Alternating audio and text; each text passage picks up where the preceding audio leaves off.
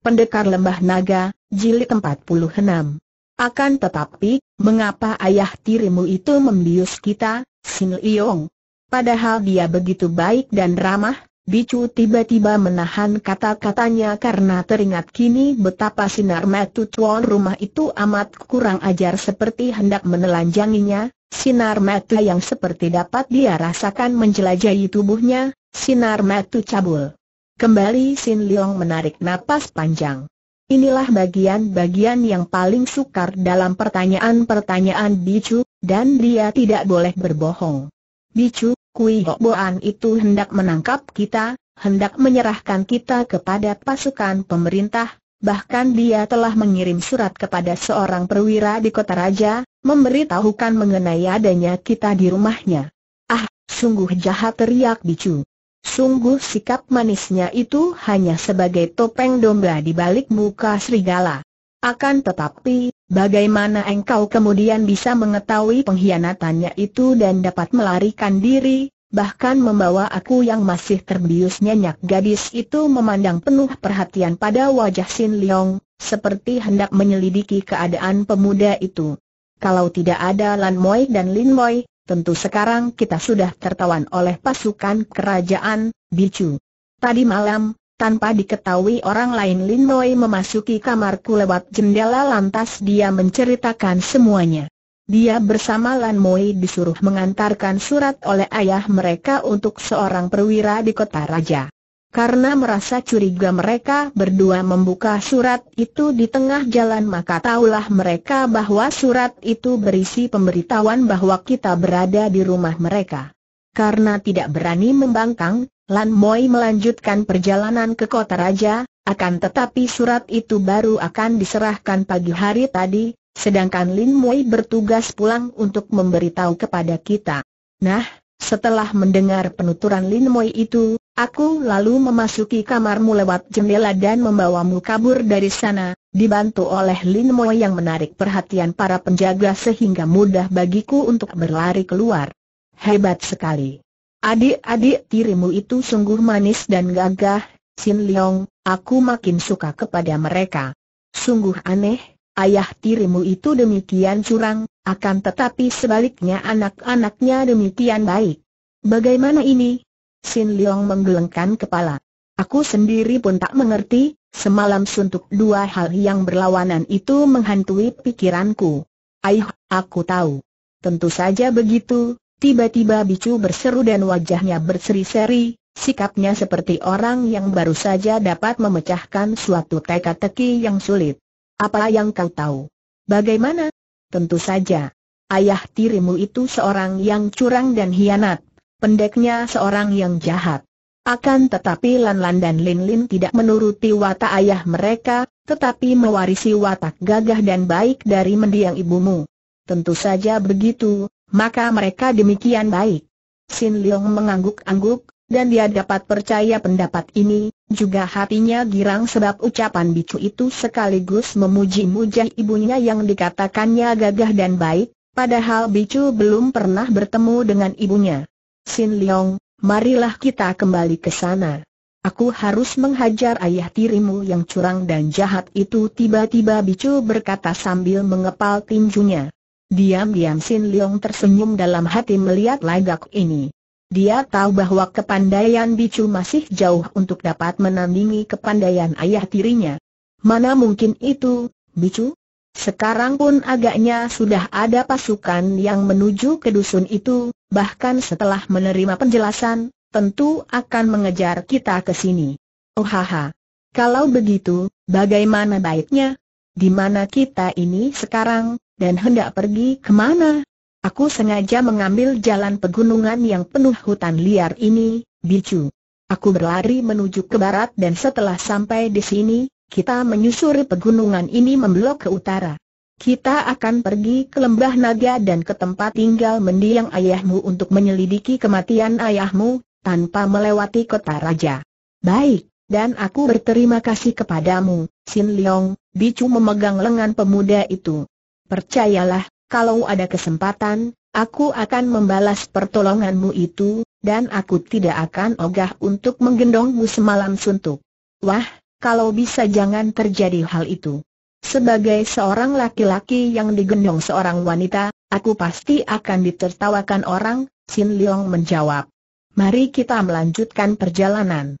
Di depan itu ada hutan besar, kita memasuki hutan dan mencari sesuatu yang dapat dimakan. Demikianlah, pemuda dan pemudi remaja ini lalu melanjutkan perjalanan mereka, masuk keluar hutan, naik turun gunung dan jurang-jurang karena mereka melalui jalan liar yang sama sekali tidak mereka kenal. Penunjuk jalan mereka hanyalah matahari. Mereka tahu arah utara, yaitu jika pagi hari matahari berada di sebelah kanan mereka dan pada sore hari matahari berada di sebelah kiri mereka. Kadang-kadang mereka melewati dusun pegunungan dan di setiap dusun mereka diterima dengan ramah dan baik oleh para penghuni dusun yang rata-rata berwatak polos, jujur dan penuh peri kemanusiaan itu. Akan tetapi Sin Leong dan Bicu yang masih hijau dan belum berpengalaman dalam taktik sebagai buronan itu tidak tahu bahwa justru di dusun-dusun inilah mereka meninggalkan jejak yang sangat jelas. Para pemburu mereka tentu akan mudah mencari keterangan tentang mereka di dusun-dusun ini, dan tentu para penghuni dusun yang jujur itu akan menceritakan kepada siapa pun juga tentang mereka berdua. Mereka telah melakukan perjalanan beberapa hari lamanya dan mereka sudah melewati batas Provinsi Hopei dan Sensi, melalui kaki pegunungan Tai. Pada hari itu, Pagi-pagi sekali mereka telah tiba di depan sebatang sungai yang besar dan karena pada waktu itu banyak turun hujan, maka air sungai meluap dan membanjir. Tidak nampak satu pun perahu di sekitar tempat itu, maka dua orang muda itu berdiri di tepi pantai dengan bimbang ragu dan bingung. Wah, mengapa sungai ini menghalangi perjalanan kita bicu mengomel dan bersungut-sungut? Air, Bicu, engkau sungguh tidak adil apabila menyalahkan sungai ini. Sudah beratus tahun, mungkin ribuan tahun lamanya, sungai ini tentu sudah berada di sini dan mengalir tiada hentinya. Dan hari ini, kita yang muncul di sini. Mengapa kau menyalahkan dia yang tidak berdosa? Lebih tepat menyalahkan kita yang mengambil jalan sampai di sini. Bicu semakin cemberut. Menyalahkan sungai tidak benar, menyalahkan diri sendiri pun apa gunanya? Sekarang ini bagaimana? Menyeberang sungai ini tanpa perahu, sungguh tidak mungkin.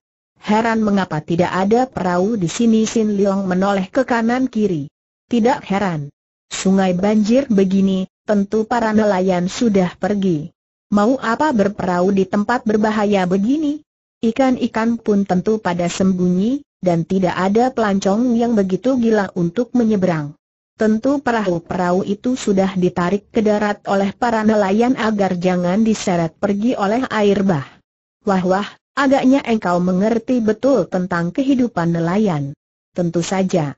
Suhu pernah mengajakku hidup beberapa bulan di perkampungan nelayan dan aku malah pernah membantu mereka mencari ikan.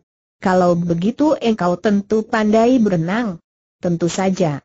Wah, engkau ini gadis si segala bisa. Apa engkau tidak pandai berenang, Sin Leong? Tentu saja Sin Leong dapat berenang dengan baik, karena ketika dia hidup secara liar di dalam hutan pun dia sudah sering kali mandi di telaga kecil di dalam hutan yang cukup dalam. Akan tetapi dia menggelengkan kepala dan merenungi sungai itu, seperti hendak mengukur dan menaksir dengan pandang matanya apakah mungkin menyeberangi sungai lebar yang sedang banjir itu dengan cara berenang. Bicu, apakah engkau dapat berenang menyeberangi sungai ini? Hanya orang gila yang akan berenang menyeberangi sungai banjir seperti ini. Dia tentu akan hanyut dan tewas. Tidak, kurasa aku tak akan mampu menyeberanginya, Sin Leong. Lebih baik kita mencari perahu. Kalau kita menyusuri tepi sungai, tentu akhirnya kita akan bertemu orang yang mempunyai perahu.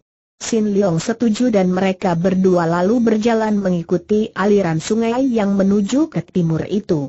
Setelah matahari naik tinggi, mereka tiba di sebuah perkampungan nelayan dan benar seperti diduga oleh Bicu tadi, perahu-perahu nelayan itu mereka ungsikan sampai jauh ke daratan supaya jangan terseret oleh banjir, dan setiap perahu itu dicancang pada sebatang pohon. Giranglah hati mereka berdua melihat ini, lantas dengan wajah berseri mereka berlari-lari menghampiri sebuah rumah yang berada pada barisan pertama. Sin Leong menghampiri daun pintu rumah itu dan mengetuknya. Ketukan itu seperti aba-aba saja karena serentak muncullah banyak orang dengan pakaian seragam. Pasukan tentara kerajaan. Melihat ini, Bicu mengeluarkan jerit tertahan. Ha, inilah mereka, buronan-buronan itu teriak seorang anggota pasukan. Tangkap mereka, bentak seorang perwira. Bicu, lari Sin Leong berseru, cepat menggandeng tangan gadis itu dan melarikan diri menjauhi dusun. Hanya sebentar saja Bicu menjadi gugup. Dia lalu teringat bahwa dialah yang lebih kuat daripada Sin Leong, maka dialah yang sepatutnya memimpin untuk menyelamatkan diri mereka berdua. Lekas, ke sungai. Tak mungkin lari katanya dan memang kini terdengar derap kaki kuda yang ditunggangi para anggota pasukan itu. Kini Bicu yang berbalik menarik tangan Sin Leong diajak lari menuju ke sungai. Setelah tiba di tepi sungai Sin Leong berkata, tapi, tapi, mana mungkin kita berenang di air yang deras itu? Kita terpaksa, hanya jalan satu-satunya. Lihat, mereka sudah dekat. Hayo cepat Bicu menarik tangan Sin Leong dan keduanya terjun ke dalam air sungai. Gelagapan juga Sin Leong ketika terseret arus air yang amat kuat. Bicu menggerakkan kaki tangan melawan arus sambil berusaha menarik pundak baju Sin Leong. Akan tetapi pada saat itu pula beberapa orang tentara telah meloncat turun dari atas punggung kuda mereka, memegang busur berikut anak panah, lalu mereka menyerang dua orang yang melarikan diri itu dengan anak panah. Melihat ini, Sin Leong cepat menggerakkan tangan dan kaki untuk menangkis dan setiap anak panah yang datang menyambar tepat ke arah mereka, bisa diruntuhkannya dengan gerakan ini. Akan tetapi, gerakannya itu membuat Bicu menjadi sibuk bukan main. Darah ini tidak melihat adanya serangan itu karena dia sibuk melawan arus. Ahaha, ah, kau jangan meronta-ronta, kau menurut sajalah ku tarik, aku pasti akan menyelamatkanmu, Sin Leong Bicu berkata dengan terengah-engah dan menarik Sin Leong makin ke tengah. Arus air sungai itu makin deras dan kuat bukan main. Sin Leong merasakan hal ini dan dia terkejut bukan main. Bahaya di air ini ternyata lebih besar daripada bahaya yang menanti di darat. Kenapa dia tadi menurut saja pada waktu ditarik oleh bicu? Kenapa dia masih bersikeras untuk menyembunyikan kepandaiannya? Apabila dia tadi berada di darat, dia masih mampu memanggul bicu untuk melarikan diri dan serangan-serangan anak panah itu tidak ada artinya baginya. Namun, kini sudah terlanjur dan dia harus melawan arus air yang amat kuat itu. Menyelamlah, kita menyelam, itu mereka membawa anak panah baru sekarang Bicu melihat pasukan anak panah itu berjajar di tepi sungai. Bicu berusaha untuk menarik Sin Leong menyelam, dan Sin Leong tetap meronta untuk menangkisi anak panah yang menyambar-nyambar. Rontaannya ini membuat Bicu amat kewalahan dan akhirnya mereka terseret oleh arus air yang kuat hingga bergulingan dan gelagapan. Sin Leong timbul kembali dan bisa melihat seorang pemuda berpakaian mewah di pantai. Agaknya pemuda itu mencegah pasukan anak panah untuk melakukan serangan, karena pemuda itu bukan lain adalah Cheng Hon Ho dan tak jauh dari pemuda itu berdiri Kim Hang Li Unyu. Sin Leong, ah, Hau Bicu meraih-raih sehingga akhirnya mereka dapat saling berpegangan lagi. Jangan pergunakan anak panah, tapi tangkap mereka hidup-hidup terdengar Han Ho berseru. Kemudian dia berteriak pula, Liong Te, mengapa kau membunuh diri? Aku akan menolongmu, jangan khawatir, tidak akan ada yang mengganggumu. Kau tangkaplah tali ini Han Ho segera melontarkan sehelai tali panjang dan tali itu meluncur cepat sekali, ujungnya terjatuh di dekat Sin Leong. Tidak, jangan pegang tali itu, mereka akan membunuhmu Bicu membantah sambil merangkul Sin Leong, mencegah pemuda itu memegang ujung tali. Karena ini, ujung tali itu terbawa hanyut oleh air sehingga terpaksa Han Ho menariknya kembali, menggulungnya dan kembali dia memutar-mutar tali di atas kepalanya. Liong Te, kau tangkap ujung tali, jangan khawatir, aku akan melindungimu. Tali itu dilemparkan dengan sangat kuatnya dan kini tepat mengenai tubuh Sin Leong yang cepat menangkapnya. Jangan, Sin Leong. Tidak apa-apa, Bicu. Dia adalah kakak angkatku, lebih baik kita di darat daripada mati konyol di air.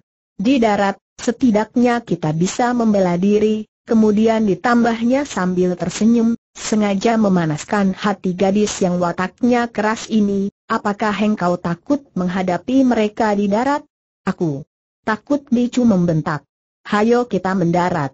Sin Leong saling berpegang tangan dengan bicu, adapun tangannya yang sebelah lagi memegangi ujung tali yang dia libatkan pada lengannya. Kini tali itu ditarik oleh Hon Ho ke pinggir. Akan tetapi saking derasnya air, dua orang muda itu masih terbanting-banting dan terguling-guling. Sesudah mereka tiba dalam jarak sekitar 3 meter dari tepi sungai, tiba-tiba Hon Ho mengeluarkan seruan keras dan membetot tali itu sekuat tenaga. Karena tali itu melibat lengan Sin Leong, maka pemuda ini tertarik dan melayang ke atas bersama bicu yang saling berpegang tangan dengan dia. Sin Leong berjungkir balik ketika turun ke atas tanah, akan tetapi dia melihat betapa bicu sudah ditolong oleh Hon Ho yang tadi dengan cekatan telah menyambut tubuh darah itu dengan tangkas. Sin Leong merasa bersyukur, akan tetapi betapa kaget hatinya ketika dia melihat Hon Ho menangkap kedua lengan darah itu dan ditelikungnya ke belakang. Ho Ko, apa yang kau lakukan itu tanda seru bentaknya. Para anggota pasukan langsung mengurungnya dengan senjata ditodongkan, akan tetapi Han Ho membentak mereka, menyuruh mereka itu mundur. Kim Hang Li Unyo hanya memandang dengan senyum dingin, agaknya wanita ini sengaja membiarkan saja segala yang dilakukan oleh sutenya yang juga merupakan junjungannya. Pangeran, sebaiknya kita bunuh saja bocah keparat ini kata Kim Hang Li Unyo perlahan sambil memandang kepada Sin Leong. Semenjak Han Ho menjadi pangeran di dalam istana kerajaan Beng, suci ini menyebut pangeran terutama sekali di tempat umum. Sambil tersenyum Han Ho menoleh kepada perempuan cantik itu. Eh haha, suci, apa kau lupa bahwa dia itu adik angkatku yang tercinta? Siapa yang berani membunuhnya akan berhadapan dengan aku sendiri. Bukankah begitu, Liong Te? Bukankah kita sudah saling bersumpah sebagai kakak beradik? Memang benar, Hou Ko, akan tetapi sikapmu ini sungguh tidak dapat dinamakan sikap seorang kakak angkat yang baik. Hayo kau lepaskan bicu. Nona ini, haha, dia ini cantik dan gagah pula, pantas kalau engkau jatuh cinta padanya, Liong Te. Jangan bicara yang tidak-tidak Sin Leong langsung memotong dan wajahnya berubah merah sekali. Adapun bicu meronta-ronta hendak melepaskan kedua tangannya, akan tetapi tangan yang memegang kedua pergelangan tangannya itu terlalu kuat baginya.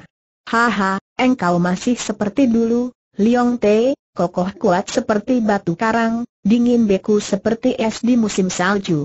Akan tetapi sekali api cinta membakar hatimu, engkau segera berkobar bagaikan lautan api. Hahaha. Liong Te, aku terpaksa menawan dia ini supaya engkau tidak melakukan kenekatan yang bukan-bukan.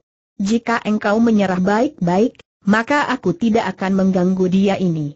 Sin Leong mengerutkan alisnya. Dia memang suka terhadap Han Ho dan dia percaya kepada pangeran ini, akan tetapi dia juga tahu bahwa pangeran ini mempunyai watak aneh luar biasa dan kalau sudah hendak membunuh orang, agaknya sama seperti kalau membunuh ayam saja. Kau berjanji akan membebaskan dia? Aku berjanji, asal engkau menyerah dan engkau penuhi pula permintaanku yang patut. Permintaanmu yang patut Sin Leong tersenyum mengejek. Benar-benar patut dan sudah semestinya. Akan kukatakan kepadamu nanti, akan tetapi agar tetap aman, engkau menyerah.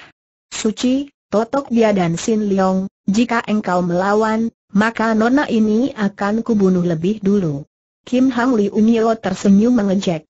Apa sukarnya untuk merobohkan setan cilik ini? Pangeran sesudah berkata demikian, wanita itu menghampiri Sin Leong lantas tangan kirinya bergerak cepat sekali. Kalau Sin Leong mau, tentu saja dia akan dapat mengelak atau menangkis, akan tetapi dia melihat sinar mata dari Han Ho dan dia tidak berani berkutik. dia tahu betul bahwa sekali dah melawan, sekali pukul saja Han Ho akan mampu membunuh Bicu. Maka dia menyimpan tenaganya dan membiarkan dirinya ditotok.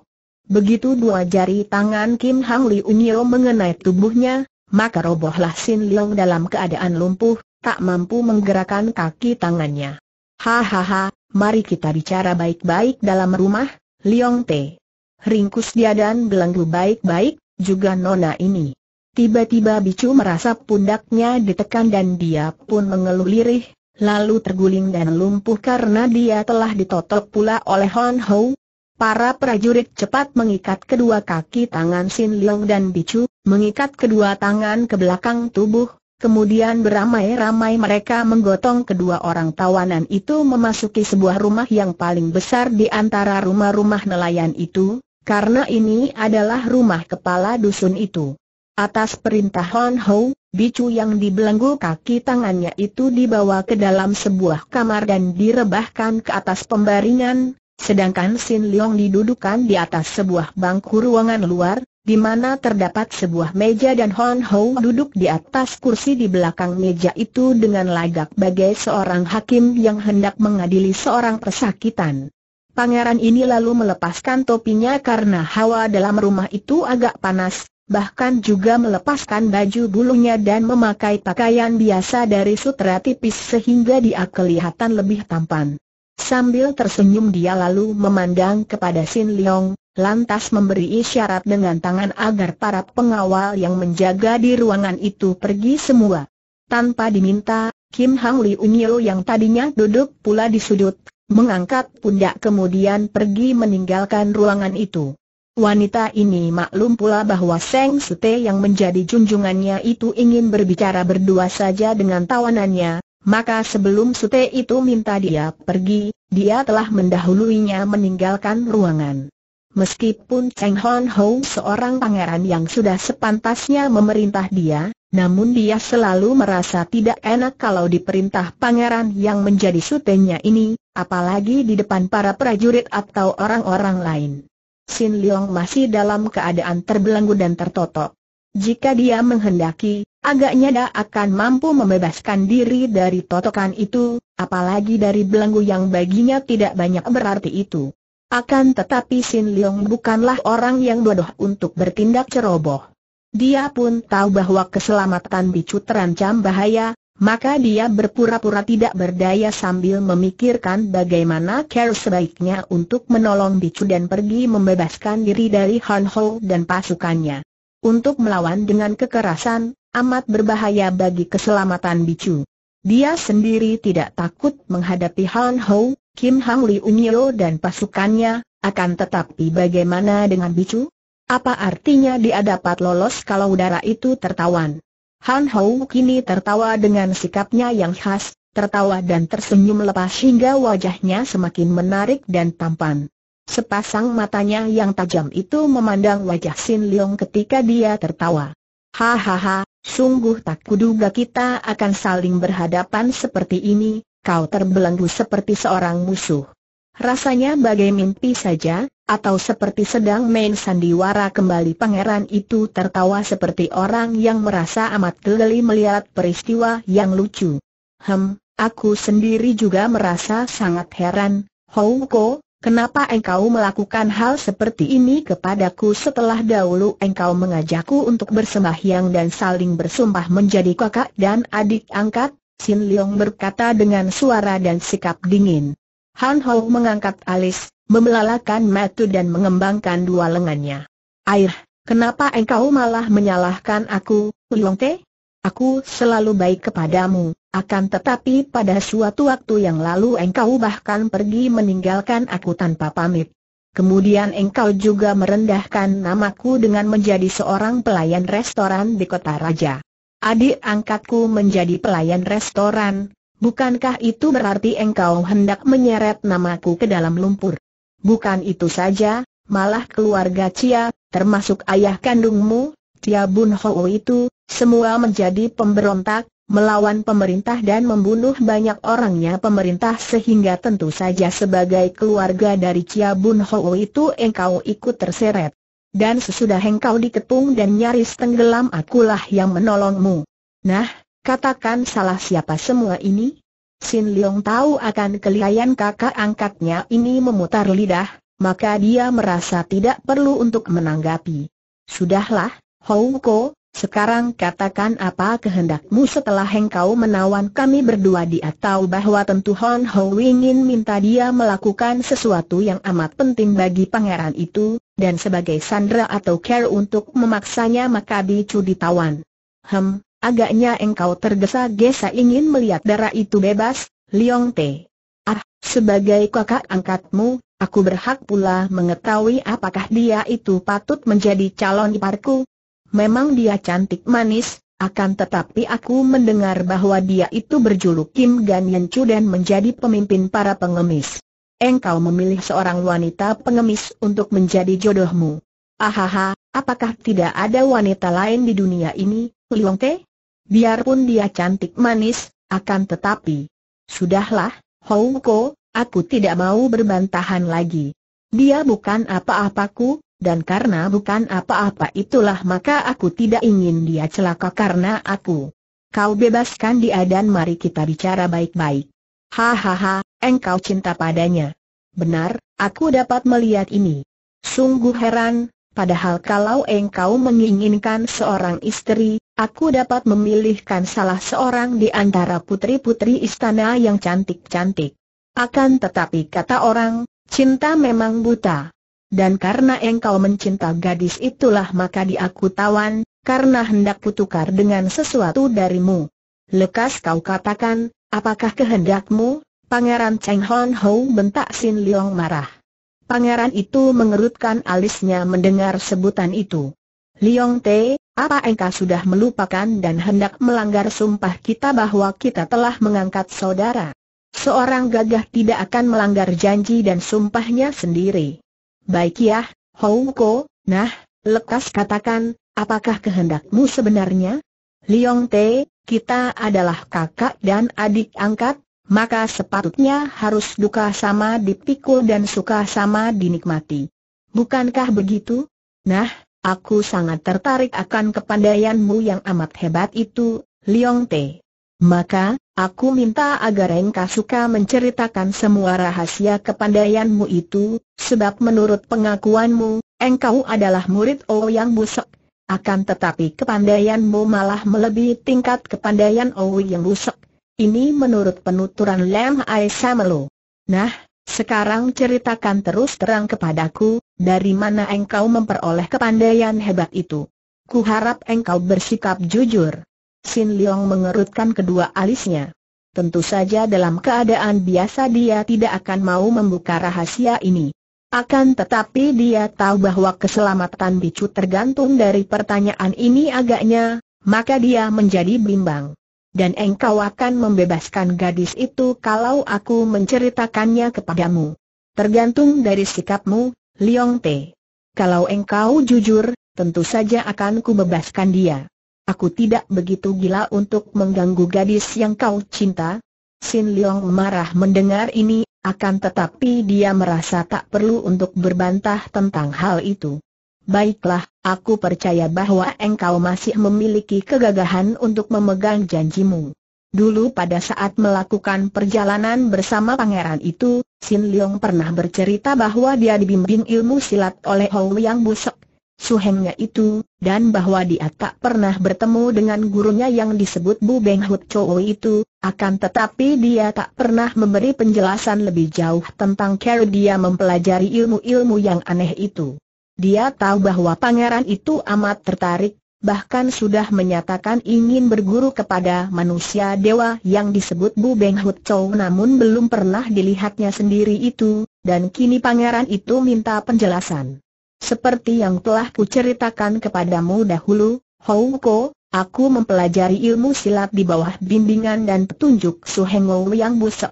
Sebetulnya dialah guruku, akan tetapi dia tidak mau disebut guru, minta disebut Su Heng karena katanya aku sebetulnya juga murid Bu Beng Hut Chow seperti dia.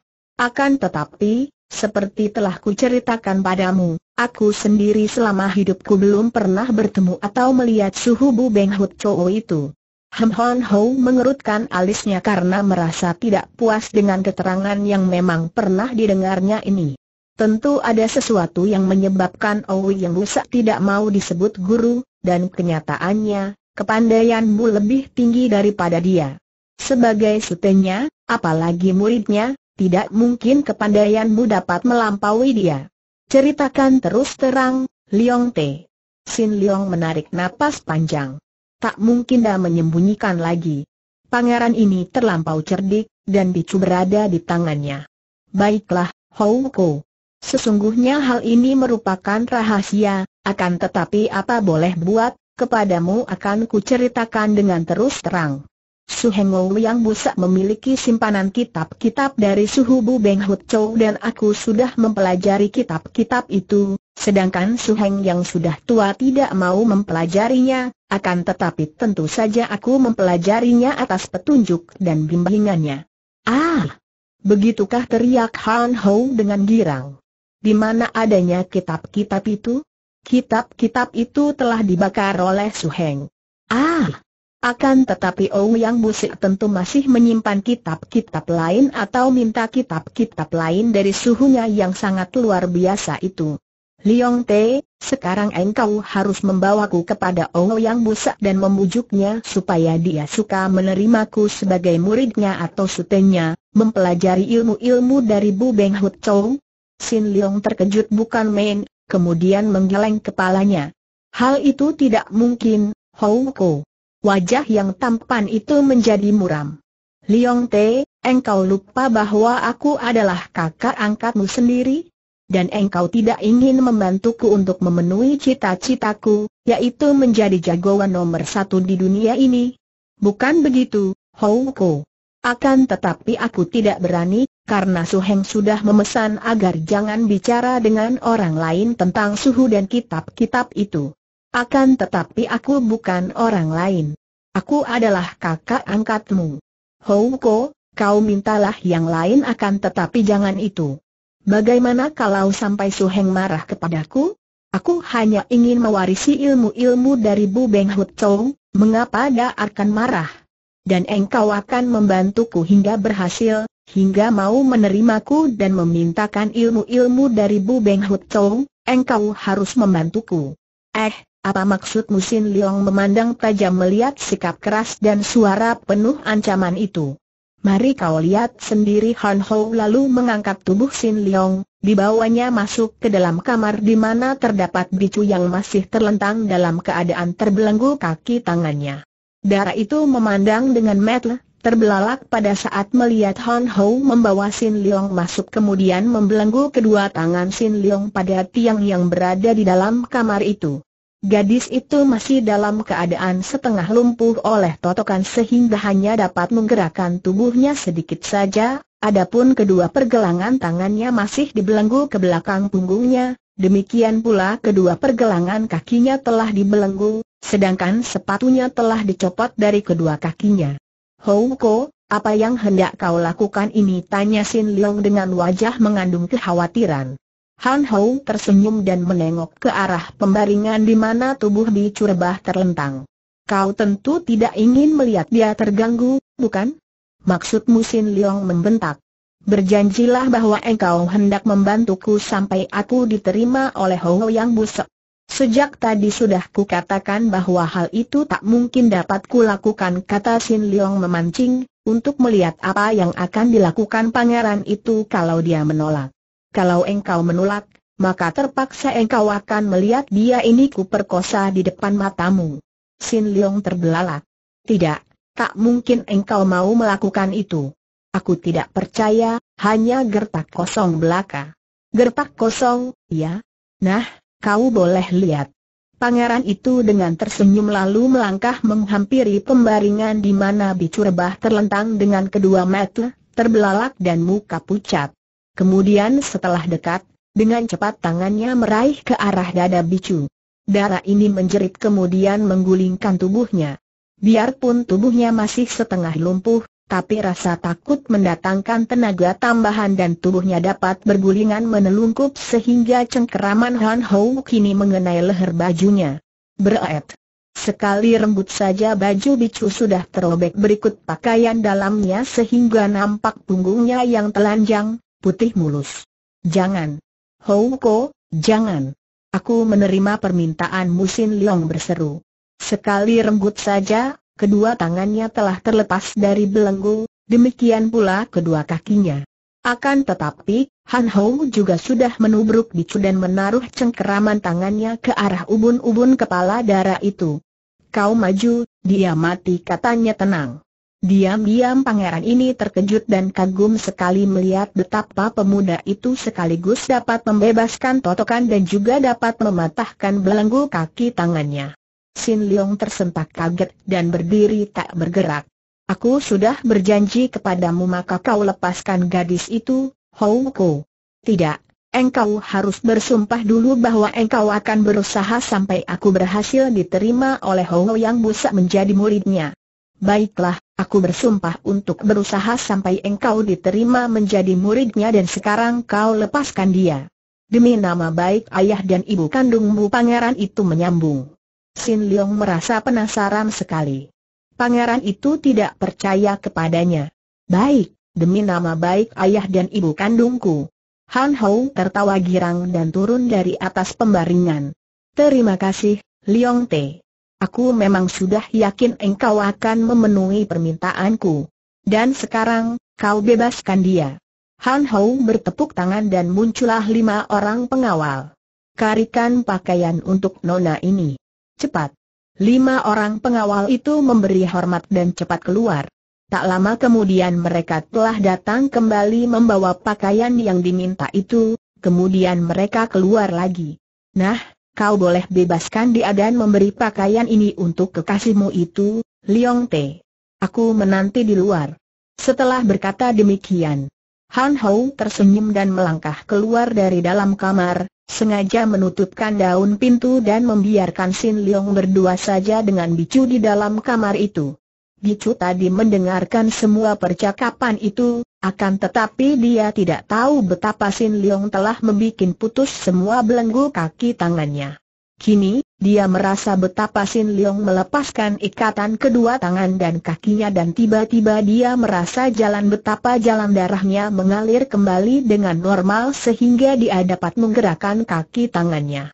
Bicu tidak tahu bahwa ketika melepaskan ikatan kedua pergelangan tangan tadi, seperti tidak sengaja jari tangan Sin Leong menekan punggung dan membebaskan totokan yang membuat Bicu lumpuh.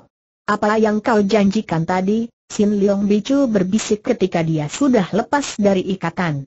Kini dia telah memakai baju yang diberikan oleh Hon Ho tadi. Hanya bajunya saja yang dipakainya, karena celananya sendiri tidak ikut robek.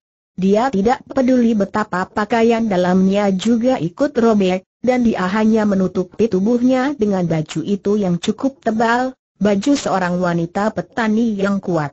Tidak apa-apa, Bicu. Engkau sudah bebas maka cepatlah engkau pergi jauh-jauh dari tempat ini. Dan kau? Aku tidak dapat ikut pergi. Kalau begitu aku tidak mau.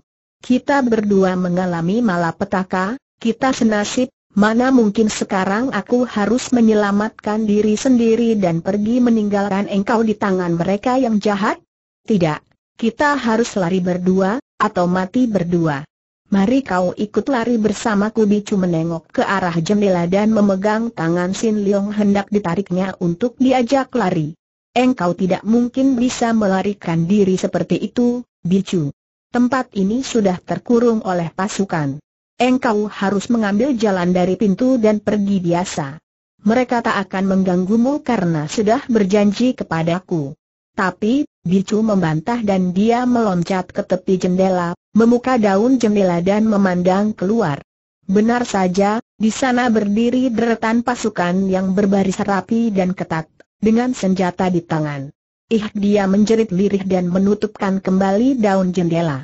Kau benar, banyak pasukan menjaga di sana. Sudahlah, Bicu, kau pergilah, mari kuantar keluar. Kita harus berpisah di sini sekarang, berpisah sementara. Aku harus ikut dengan mereka. Tapi, Bicu kini memegang kedua tangan Sin Leong dan memandang wajah pemuda itu. Kapan kita dapat saling jumpa kembali? Sin Leong tersenyum. Kita pasti berjumpa kembali kelak. Nah, sekarang kau pergilah dan hati-hatilah, Bicu, jangan bertualang dengan para pengemis itu, dan juga jangan mencari permusuhan karena di dunia ini banyak orang jahat yang lihai sekali. Mari kuantar kau keluar. Mereka lalu melangkah keluar, dan ternyata Hon Ho sudah menunggu di luar. Melihat pangeran ini, sepasang mata bicu bersinar penuh kemarahan dan dua pipinya menjadi merah. Han Hong tersenyum, lalu menjura dengan lembut. Nona, harap engkau suka maafkan segala yang telah terjadi tadi, percayalah bahwa aku tetap menghormatmu sebagai kekasih adik angkatku. Hou Ko. Hentikan ucapan seperti itu Sin Leong berseru marah. Pangeran itu hanya tersenyum, lantas mengantar mereka keluar sampai di depan rumah, baru Bicu melihat bahwa di sana banyak sekali prajurit yang sudah mengepung rumah itu sehingga kalau menggunakan kekerasan untuk melarikan diri jelas amat sukar. Nah, pergilah engkau, Bicu dan selamat jalan, kata Sin Leong sambil melirik ke arah Kim Hang Li Unyo yang berdiri di samping. Tapi, tapi engkau, Bicu berkata lirih. Jangan hiraukan aku, kita kelak akan saling jumpa kembali. Selamat jalan. Hahaha, perpisahan antara dua orang yang diam-diam sudah saling mencinta, betapa mengharukan kata Hon Ho. Hampir saja Sin Leong lupa diri dan sepasang tangannya sudah terkepal. Dia mendengar gerakan di sebelah kiri maka taulah dia bahwa Kim Hang Li Unyo juga sudah siap untuk menerjang apabila dia menyerang Seng Pangeran. Hou Ko, engkau harus berjanji lebih dulu bahwa engkau dan anak buahmu tidak akan mengganggu bicu, kalau engkau tidak mau berjanji, sampai bagaimanapun aku tidak akan membawamu kepada Oh yang busuk. Melihat sikap pemuda ini kemudian mendengar suaranya yang keras serta mengandung ancaman, Han Hong lalu tersenyum dan berkata, mengangkat tangan kanannya dengan penuh lagak, Baik, aku berjanji bahwa aku dan anak-anak buahku tak akan mengganggu nona ini, suaranya lantang sehingga terdengar oleh semua prajurit. Barulah lega hati Sin Leong mendengar ini. Nah, pergilah, bicu. Nona itu nampak ragu-ragu, memandang kepada Sin Leong dengan khawatir, Kemudian ia mengangguk dan berlari dari sana melewat jalan di mana berbaris pasukan di kanan kirinya. Setelah jauh, sebelum membelok, dia berhenti dan menengok, melihat Sin Leong masih berdiri mengikutinya dengan pandangan matanya, dan di sebelah Sin Leong berdiri pangeran itu dan wanita cantik yang amat lihai itu. Kemudian dia melanjutkan larinya dan membelok di tikungan jalan, lalu lenyap dari pandang mata Sin Leong yang menarik napas panjang karena hatinya merasa lega. Yang paling penting adalah keselamatan Bicu dan setelah darah itu bebas, barulah hatinya lega. Nah, kapan kita berangkat ke selatan tanyanya kepada Han Ho? Besok pagi-pagi, aku harus membereskan urusan di kota raja dulu dan berunding dengan Suci. Sin Leong tidak peduli lagi. Dia lalu memasuki kamar untuk beristirahat dan mencari jalan bagaimana sebaiknya menghadapi Owi yang rusak. Karena dia sudah berjanji dan dia harus berhasil membuat Han Ho diterima sebagai murid suhengnya itu. Setelah Kaisar Cheng Hwa naik tahta, keadaan di kerajaan Beng Tiao kelihatan tenteram dan tenang, atau setidaknya demikianlah laporan-laporan yang diterima oleh Kaisar Cheng Hwa dari para bawahannya. Kaisar Cheng Hwa masih terlalu muda ketika naik tahta, masih hijau dan kurang pengalaman sungguh pun dia berusaha dengan sungguh-sungguh untuk menjadi kaisar yang baik. Memang, semenjak para Taikam tidak lagi berkuasa di kota raja dan terutama di istana, yaitu semenjak Kaisar Cheng Tung kembali menduduki tahta kerajaan, keadaan di istana tidaklah seburuk ketika para Taikam masih merajalela. Akan tetapi, setelah Kaisar Cheng Hwa menduduki tahta kerajaan, para taikam kecil yang tadinya hanya bertugas sebagai pelayan-pelayan di dalam istana, terutama di dalam bagian-bagian di mana tinggal para putri, mulai beraksi mendekati raja muda itu. Kaisar Cheng Hwa memang masih hijau dan mudah tergelincir oleh sikap dan kata-kata yang manis menjilat-jilat. Kim Hang Li Unyo yang dianggap sebagai seorang wanita yang berjasa besar di istana, sudah menyelamatkan Kaisar Cheng Hwa ketika masih menjadi pangeran, kini merupakan seorang tokoh yang amat disegani dan juga dihormati di istana. Bahkan wanita ini, seperti juga Pangeran Cheng Hon Ho, memperoleh kekuasaan istimewa untuk memasuki istana setiap waktu, bahkan diperbolehkan pula untuk menghadap kaisar tanpa dipanggil. Kesempatan ini sekarang dipergunakan sebaiknya oleh Kim Hang Li Unyo. Seperti telah diketahui, wanita yang usianya sudah 35 tahun itu akhirnya jatuh cinta kepada seorang pria yang tadinya selalu dipandang rendah. Dia jatuh cinta kepada Panglima Li Xiang, bahkan dengan sukarela sudah menyerahkan diri, menyerahkan kehormatannya kepada pria yang dicinta itu. Akan tetapi, seperti yang sudah diceritakan di bagian depan, kekasihnya itu, Panglima Li Xiang, tidak dapat lama menjadi pria pertama yang berada dalam pelukannya. Li Xiang tewas di tangan Li Seng.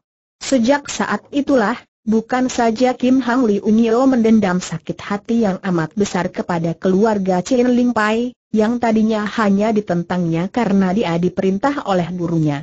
Kini dia sendiri mempunyai dendam pribadi atas kematian kekasihnya. Di samping dendam ini, juga ada sesuatu yang tumbuh di dalam hatinya.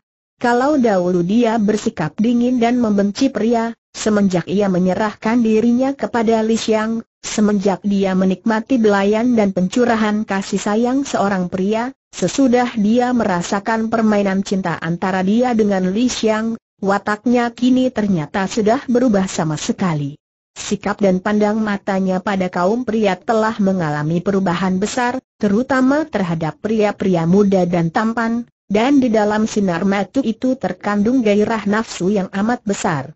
Wanita ini merasa amat tersiksa oleh gairah yang mendesak-desak ini, membuat dirinya selalu kehasan, haus akan belayan dan kasih sayang seorang laki-laki.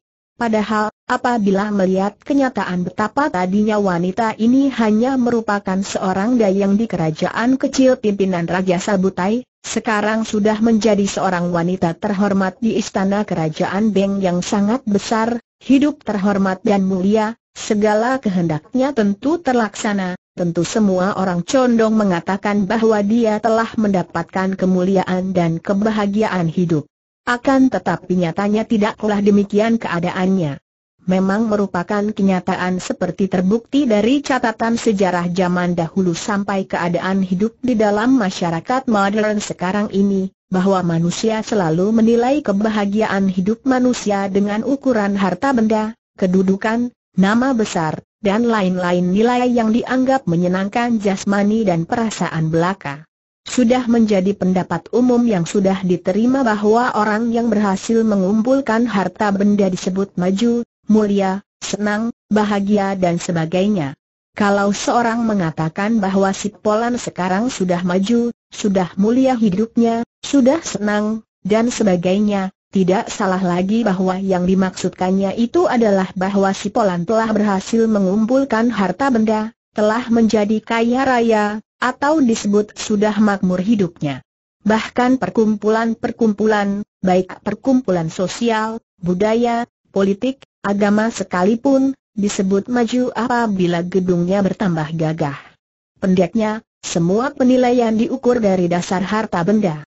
Akan tetapi benarkah kenyataannya demikian, yaitu bahwa manusia akan hidup bahagia bila sudah berhasil mengumpulkan banyak harta benda? Berbahagiakah manusia kalau sudah mempunyai kedudukan tinggi?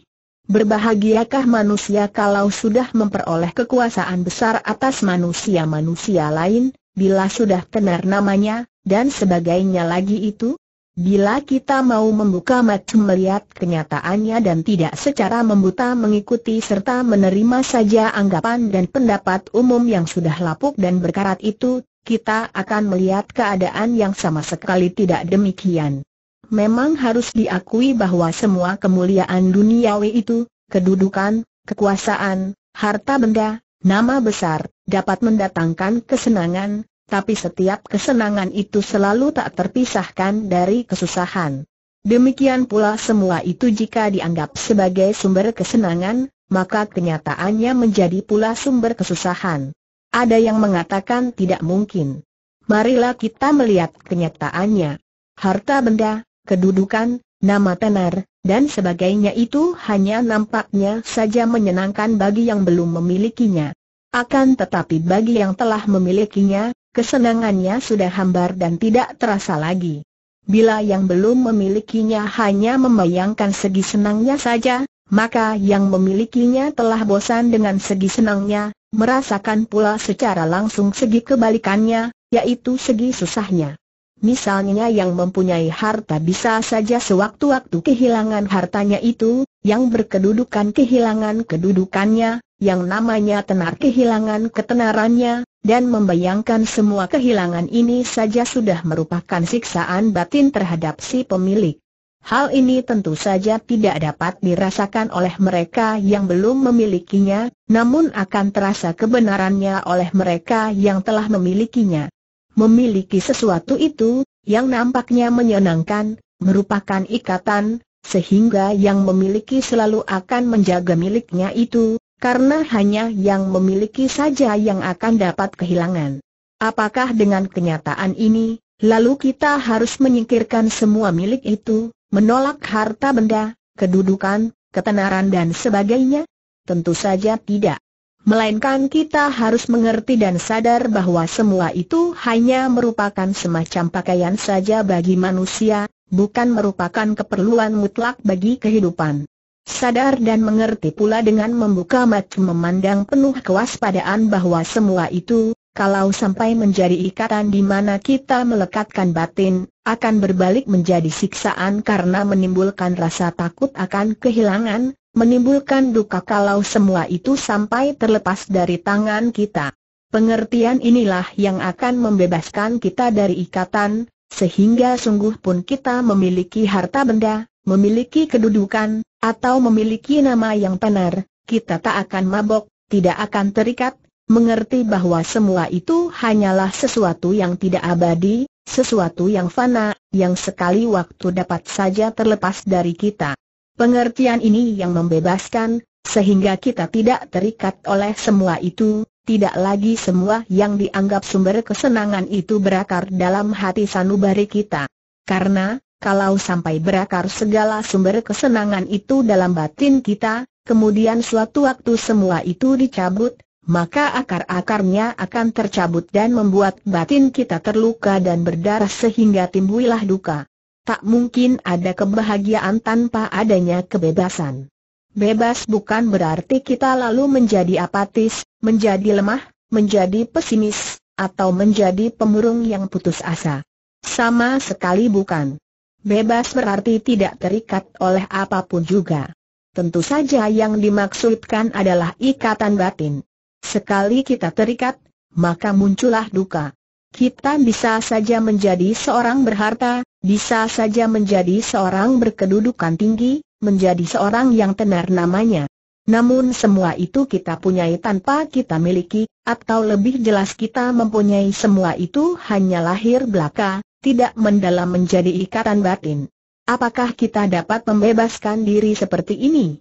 Jawabannya hanya dapat ditemukan di dalam penghayatan, karena jawaban tanpa penghayatan di dalam hidup kita sehari-hari hanya akan menjadi teori kosong belaka, menjadi bahan perdebatan untuk menonjolkan diri sebagai orang yang sok tahu. Hem, pusing, kan? Semua gara-gara nafsu Kim Hang Li Unyo mendadak jadi gede.